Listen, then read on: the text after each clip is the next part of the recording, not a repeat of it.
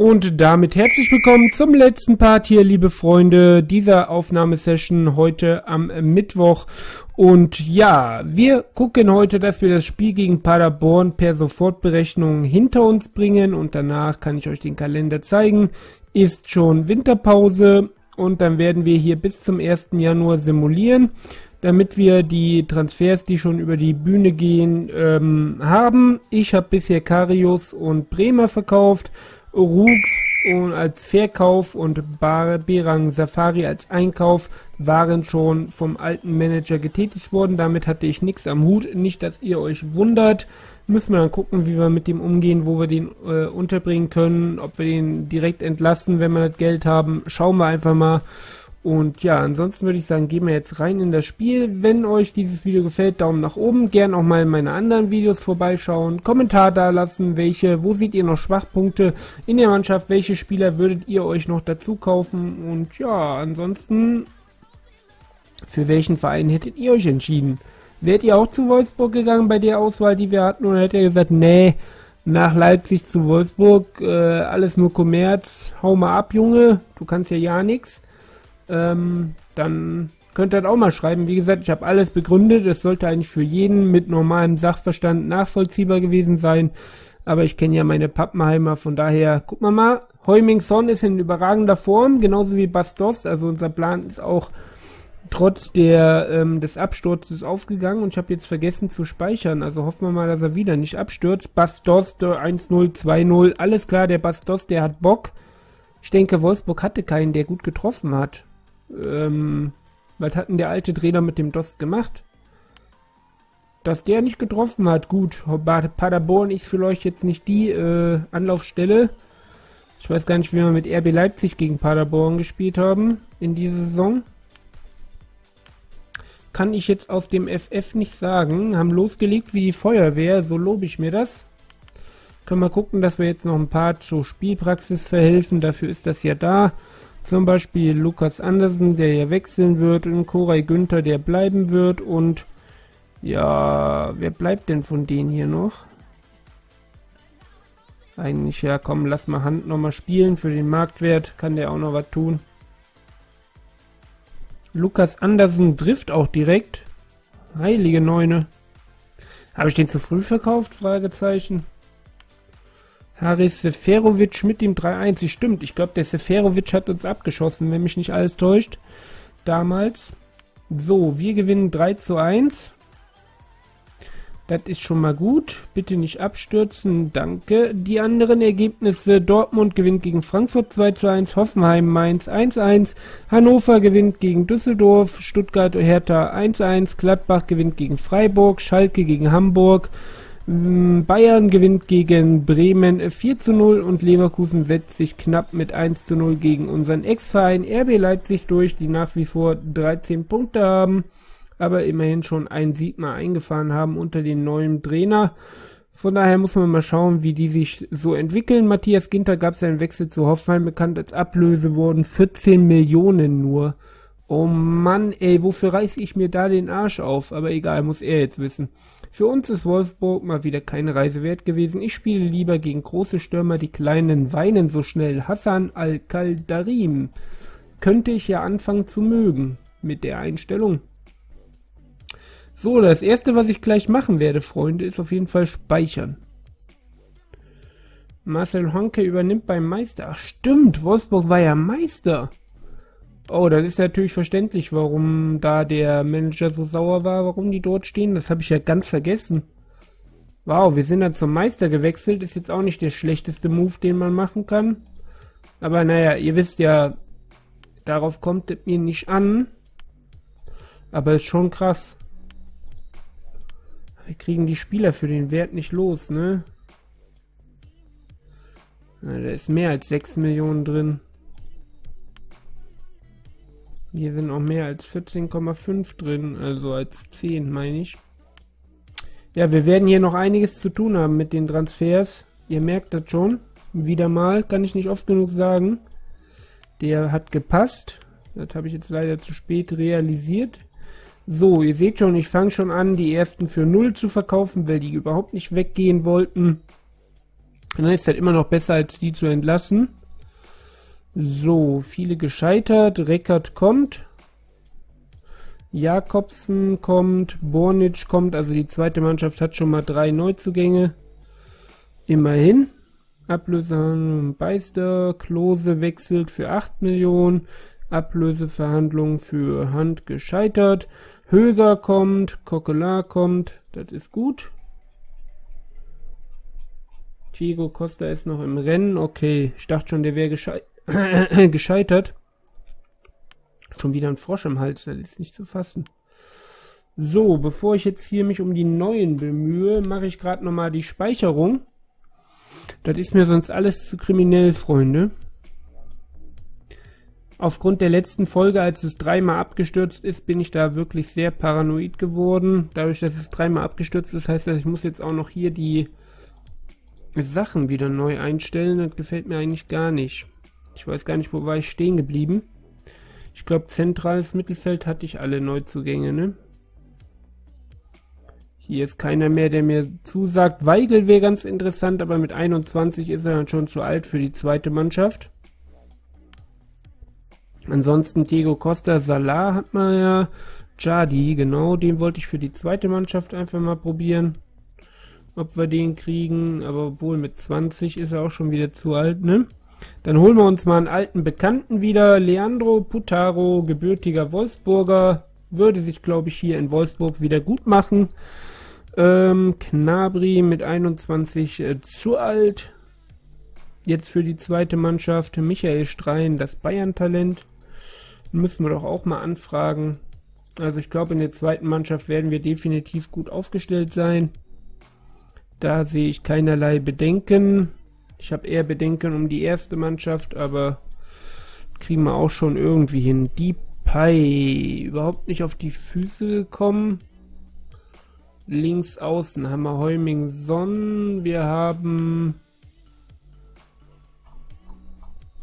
Heuming Son. Son. Wir haben Peresic, den wir wohl behalten werden erstmal.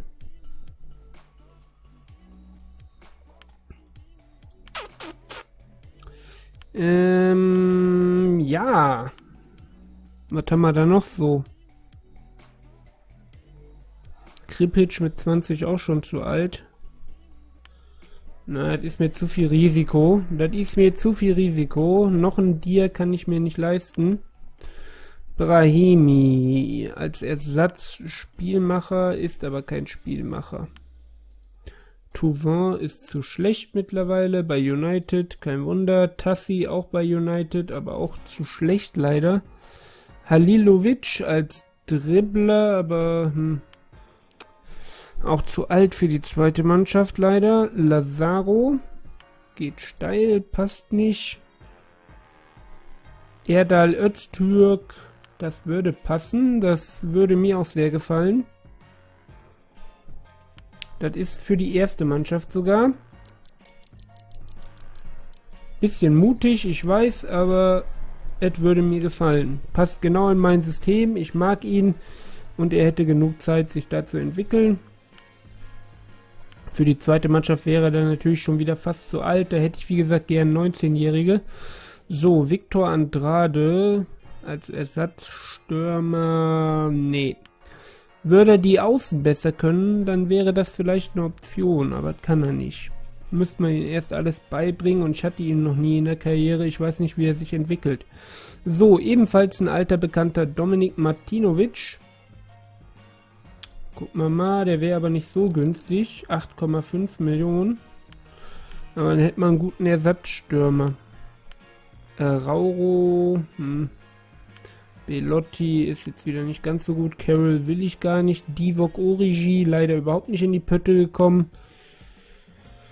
Babaef Lombardi. Jeremy Lombardi. Klingt sehr toll der Name, aber passt noch nicht. Benkarit ist ein Jahr zu alt. Egestein für die zweite Mannschaft. Das könnte passen. Mit 18 Jahren ist da noch Entwicklungspotenzial und auch wie gesagt recht günstig, dann ist das okay.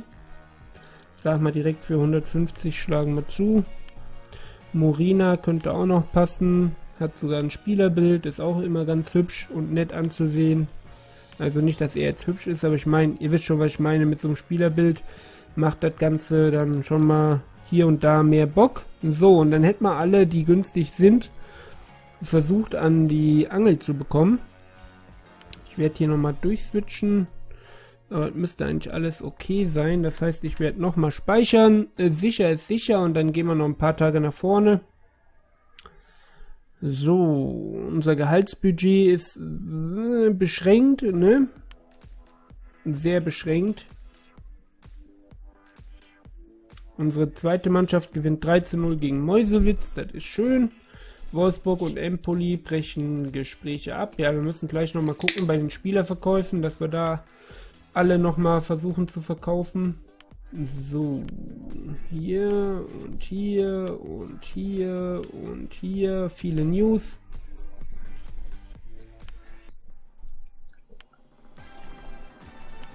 Hazard, Spieler des äh, Spieler der Saison des Jahres.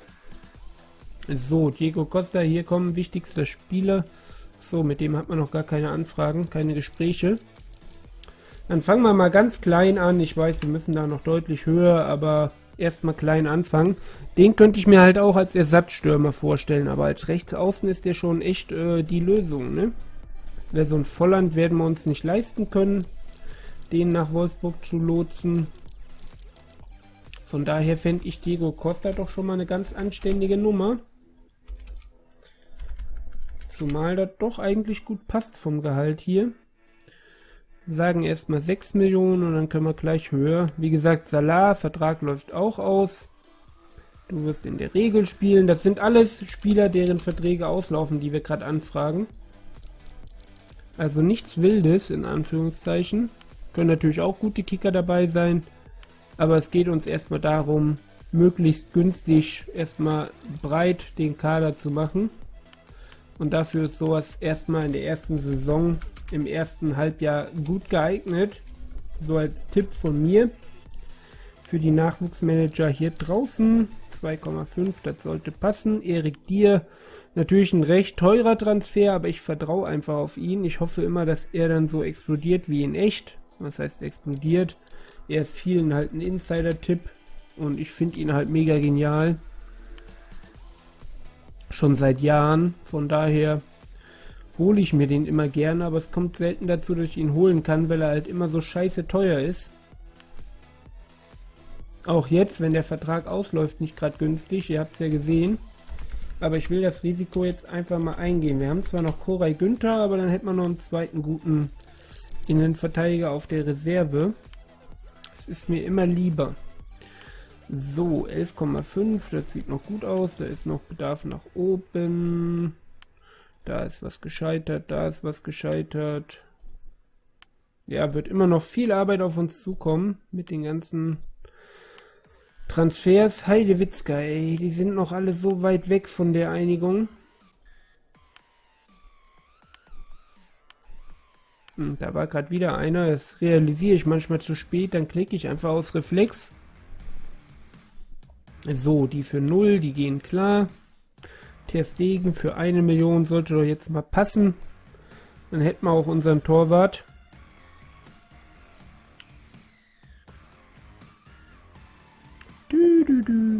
Ich werde gleich auch nochmal die Jugendmannschaft einblenden, wenn er nicht abstürzt und wir uns um die Transfers gekümmert haben. Hier haben wir schon wieder einen verkauft. Zwar jetzt nicht der teuerste, aber immerhin, es nimmt Formen an.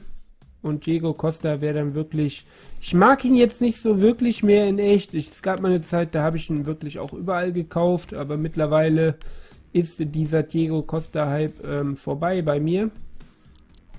Machen wir 7 Millionen, dann müsste es eigentlich passen. So, hier sieht gut aus bei Ushida.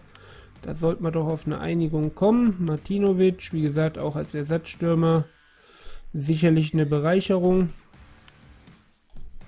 Valbuena klappt selbst für 5 nicht. Das ist schon beschämend, ne? So, aber egal, dann scheitert es halt und wir verhandeln dann neu. Putaro bekommen wir nur für 2 Millionen. Aber die sind mir, die sind es mir eigentlich wert. So, ich sag mal, du wirst für die Amateurmannschaft verpflichtet erstmal. Und dann bauen wir dich darüber langsam in den Profikader ein. Wäre mein Plan für Putaro weiterhin. Wäre schön, wenn wir so ein paar aus RB Leipzig holen könnten. Und dann unsere Arbeit mit den Jungs hier fortsetzen. Und Putaro ist halt ein Riesentalent. Das würde mich schon freuen. So, machen wir 500.000, dann können wir hier auch auf 5.000.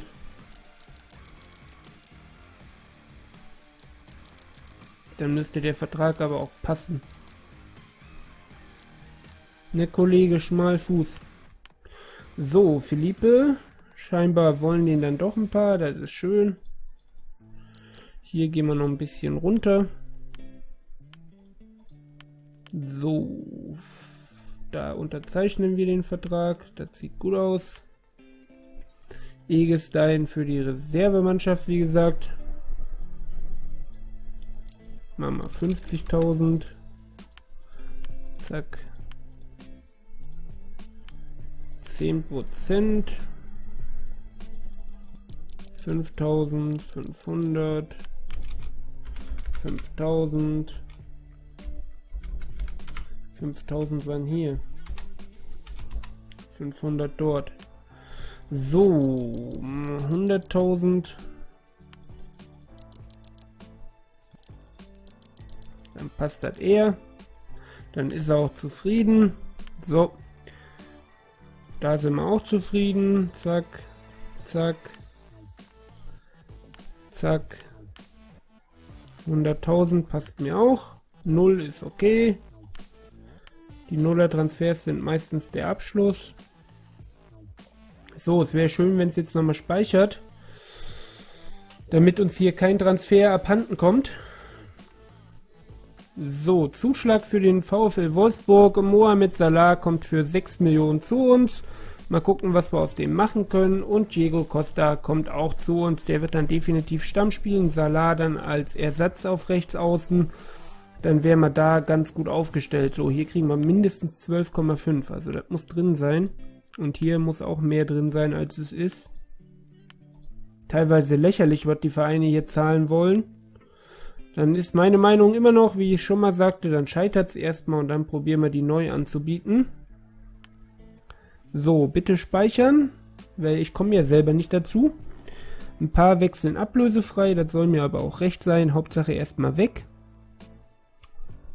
So, 11,5 für Oshida nehme ich jetzt einfach mal an. Die nehme ich jetzt einfach mal frech, wie ich bin, nehme ich die an. So, auf 8, bei Martinovic nicht mehr runter, ne? Dann bleiben wir bei den 8,5. Im Beister 12, da geht noch sicherlich einmal. Valbuena ist ein Witz. Und hier, das müsste passen, 11 Millionen für Andersen.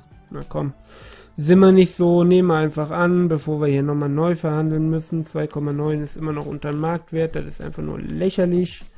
600.000 nehme ich an. Hier können wir noch auf 350 runter, der FC Bayern hat es ja. Das nehmen wir auch an. So, der hat immer noch nicht gespeichert, oder? Jetzt speichert er, danke.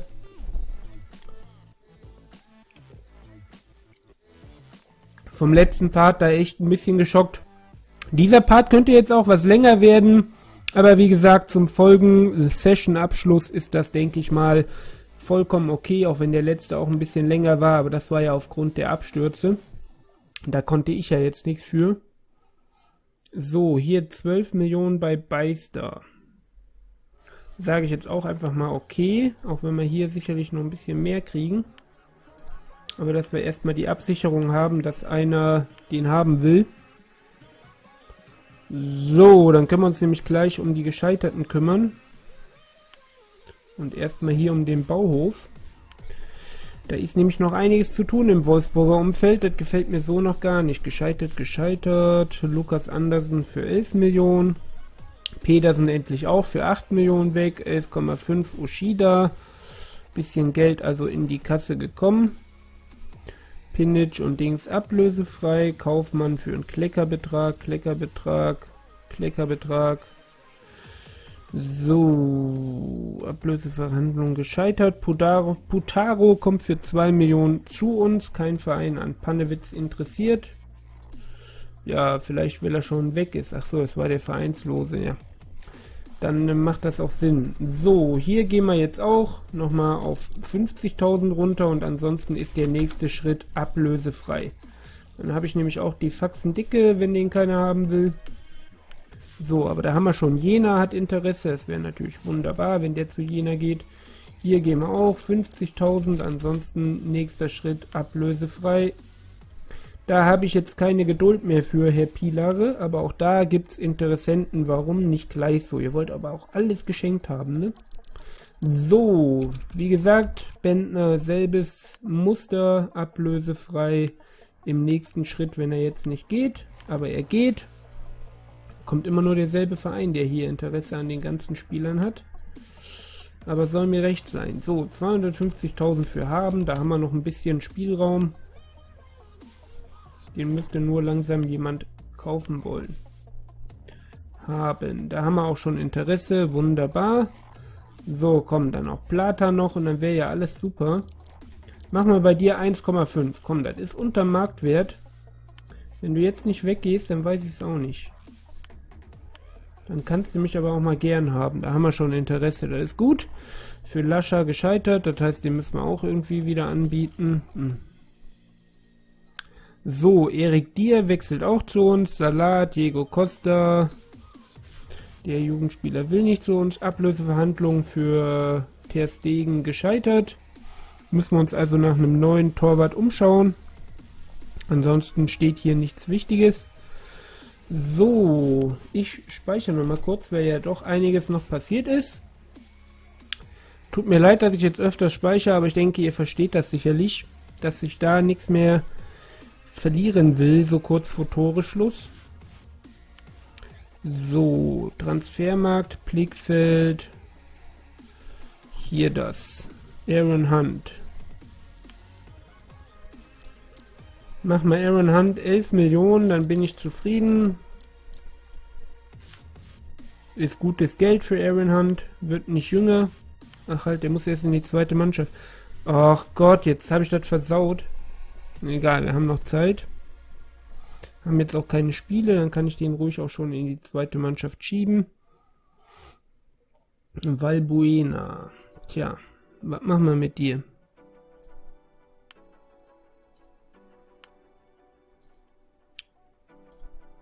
Er hier für 4,5 wird nicht mehr. In die Reserve verschieben. Limbombe. Noch haben wir Zeit, da können wir ja keinen Fehler machen. Klisch haben wir schon in der Reserve. 2,5, das muss jetzt aber auch klappen. Ansonsten weiß ich nie mehr weiter. Stolze. Für stolze 2 Millionen. Haha. so. 2 Millionen, das wäre der Putaro-Preis. Wenn wir den wieder reinholen, dann ist das super. Raphael Schäfer für 1,5. Muss doch da irgendjemanden geben, der den Lappen für 1,5 haben will. Ich meine, der ist doch locker noch Zweitliganiveau. So, Afane vielleicht für 350.000 anbieten. Muss doch machbar sein. Der sieht doch echt nicht so schlecht aus, aber hat keine Interesse. So, dann hier 150.000 für Kakatushi Willi, wie auch immer der heißt. Der Name ist mir echt zu schwer. Bettke hat auch noch kein Interesse an irgendjemanden. Dann machen wir dich 200.000 und dann ist das auch okay. Geld ist Geld. Wie gesagt, wenn es vom Talent her nicht passt, dann muss man da auch mal Einbußen her mitnehmen. Auch wenn das gerade ein komisch formulierter Satz war. Hier 150.000. Ich mache jetzt nur, dass die Kicker jetzt endlich wegkommen, dass wir da Platz im Kader haben und unsere Kapazitäten voll ausschöpfen können. So, Wagner für, machen wir auch 100.000. Dann sollte der weggehen. So, Wagner. Dann Condi Ist ja auch schon mehrmals gescheitert. 100.000, dann müsste das passen. Zack. So, Lohmann. Einmal noch für 50.000, Junge. Ansonsten bist du ablösefrei auch weg. Genau wie der Meier. Da kenne ich jetzt nichts. Aber es sieht gut aus. Es gibt Interessenten. Und ich sehe schon, der Part, der wird arschlang. Aber wie gesagt, einmal müsst ihr damit leben. Ich habe ja das Problem beim Schneiden und Rendern.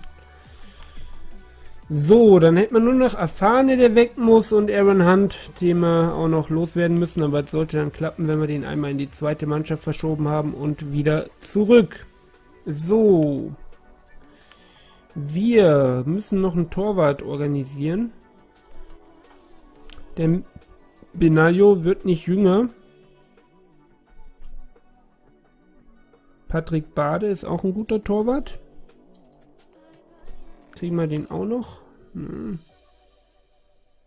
Ich würde schon ganz gern den auch noch mitnehmen. Muss ich ganz ehrlich sagen. In der Reserve zwei Torhüter zu haben, ist nicht schlecht. Aber jetzt müssen wir gucken, dass wir einen für die erste Mannschaft kriegen. Luteke Radkowski ist nicht der, den ich gerade vorgestellt habe. Ja, Tschechny. Müssen wir Tschechny nehmen, echt? Oder wir suchen nach Torhütern, die die diverse Ausstiegsklauseln haben. Ich sagte Torhüter. Und da vielleicht auch gucken, dass da mindestens eine 66, also das sollte man schon hinkriegen. Und jetzt gucken wir hier einfach mal nach Ausstiegsklauseln. Vielleicht haben wir da was. Irgendwie 30 Millionen ist mir zu viel.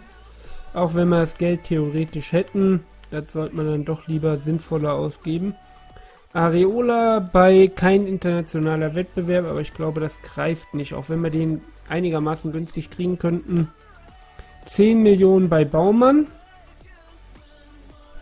Die nehmen wir gerade mal ins Blickfeld. 10 Millionen bei Baumann.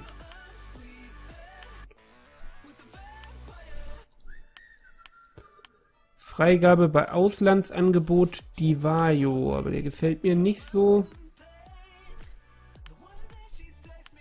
Rakowski, Stettler, Kaminski, Giefer, Rakowski, Hacic, Salinger, Weke. Ich glaube, das war's. Da sind wir durch. Sprich, Baumann wird unser Torwart für 10 Millionen. Gut Geld, aber ich glaube, es ist er wert. So. Und so gehen wir jetzt auch bei den anderen Positionen durch. Vielleicht können wir da nochmal Schnäppchen machen. Als erstes schauen wir natürlich, ups, eigener Verein besitzt Rückkaufklausel, da dürfte man keinen haben. Das ist ganz selten, Auslandsangebote, da gibt es sicherlich das ein oder andere. Kerim Geis von Sevilla. Was hat der so? 18,75 Millionen, ist recht teuer natürlich ein super Kicker, aber ist teuer. So, er passt nicht in unser System. Aubameyang, gut, der geht selten. Das haben wir schon mehrmals probiert.